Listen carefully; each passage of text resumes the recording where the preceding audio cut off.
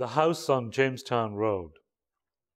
Up to Dublin, two westerns in a day, Theatre Royal and the Carlton.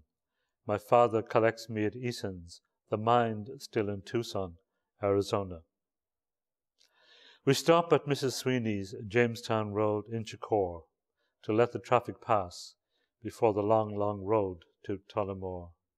Mrs. Sweeney's eldest daughter carries in a full food tray of her stockings, the loudest sound to my ear.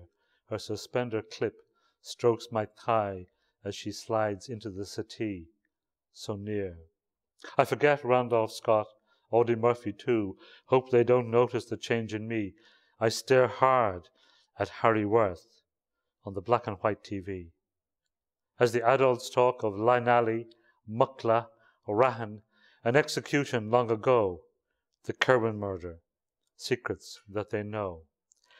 And what a great dancer Barney was, skilful, stylish, full of charm. that after dances he'd hitch home, dancing shoes in brown paper under one arm. The tension between him and his brother Larry, and no one knows why, and despite a clemency petition, Barney waited four long months to die. 2nd of June, 1943, they swung him. Mrs. Sweeney grinned and winked at me. Her daughter squeezed up from the sofa, straightened her skirt, topped up her cups with strong tan tea. In darkness, we travelled home, my father and I, the long, long road to Tullamore.